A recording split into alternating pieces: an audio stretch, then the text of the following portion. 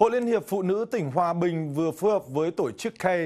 quốc tế tổ chức hoạt động kết nối thị trường, tiêu thụ sản phẩm với chủ đề Phụ nữ hội nhập phát triển kinh tế bền vững.